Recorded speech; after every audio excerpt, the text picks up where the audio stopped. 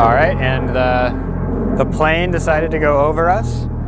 Let's just wait a second. I mean, listen, we talking about practice, not a game. All not right. a game, not a game. We talking about practice, Everybody gonna tell you something Not a different. game. You ain't gonna go far. not the game that I go out there and, and die You ain't gonna be shit. and play every game like it's my last. Not the game. motherfuckers feel like they We drown. talking about practice, man. I mean, how silly is that, man? We talking about Don't let practice. nobody drown I supposed to be there. I know I'm supposed to lead But by don't example. nobody I know that, and I'm not. I'm not sure. Hey guys, my name is Julian with Alltech Solar here in San Diego and uh, what I'm going to be teaching you today is how many panels you can get onto your existing electrical panel without having to do any kind of upgrades, derate the panel, or even install an RMA. Alright, so it's really easy to figure this out. You can do the math in just about 30 seconds. You're going to go out to the electrical panel, you're going to open up the door, and you're going to look at the spec sheet that's hopefully there, and you're going to look for where it says the max rating.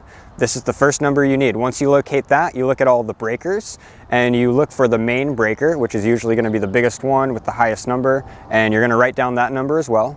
And then the third step is you need to just kind of take an overall look at uh, all of the breakers and see are there any available areas so I can put a new breaker because when you install solar there's going to be a new PV breaker that is installed into the existing electrical panel. We, we may have to double some up which is possible uh, but hopefully there's a spot that's ready to go. All right, step two, you're going to take that max rating that you just discovered. Like I said in this example, it was 100 amps. You're just going to multiply that by 120%. So as you can see down here, 100 times 1.2 is 120 amps. So step three, you simply are going to take that 120% figure and you're going to subtract what the main breaker rating is for it. So for example, in this case, since it's a 100 100, we're going to take that 120 and subtract 100 from it and we're going to be left with 20 amps. Now this is the maximum size amperage PV breaker that you can fit in the electrical panel without messing with it at all. So how do we figure out how many panels we can fit in a 20 amp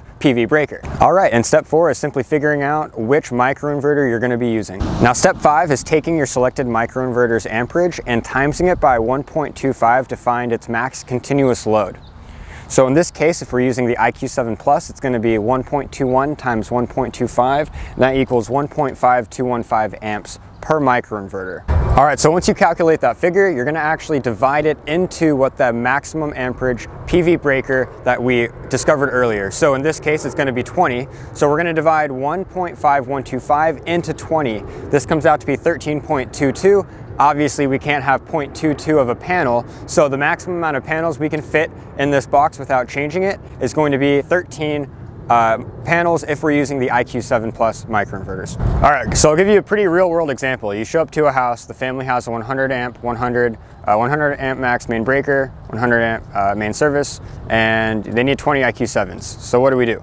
We're going to be upgrading it to a 200 200, and if we redo the math here, we'll find that a 40 amp PV breaker is the maximum that we can fit in that box. Now, without thinking too hard, back in the other example, if we could fit 16 IQ7s onto a 20 amp, then we're going to be able to fit 32 uh, IQ7s onto a 200 200. All right, so let's say you show up to the house, they have a 200 200, which initially, you know, gets you feeling good because that can hold most systems, but you go through their usage and you discover that they're actually going to need 34 IQ7 pluses, which is beyond the limit of what a 200 200 can hold. So what are we to do? All right, so the easiest thing to do is going to be what we call a derate. So we're to take that main breaker and we're to actually downgrade it from a 200 to a 175. Now, what does this do to our equation? Let's redo it again.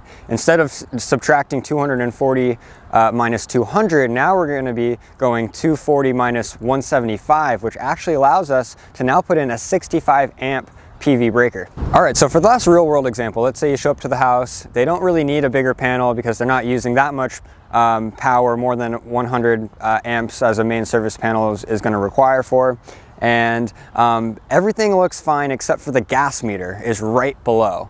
And so, as you probably know in SDG&E territory, if your gas meter is right below the electrical panel and you want to do an electrical panel upgrade, there's a good chance that you're going to have to relocate it completely, which now makes the project uh, not $2,000, but 2,000 plus uh, whatever the contractor wants to move it. Each case is a little bit different. Could be 500, could be a couple grand. Um, now, there is a workaround around this. It's called an, uh, an RMA or a renewable meter adapter, and this is kind of a small sub panel that that we can order SDG&E to install for you. And this is only about $1,400. Um, and it kind of is a workaround because we can leave the existing electrical panel there and we don't have to move anything and, and we can get your solar installed no problem.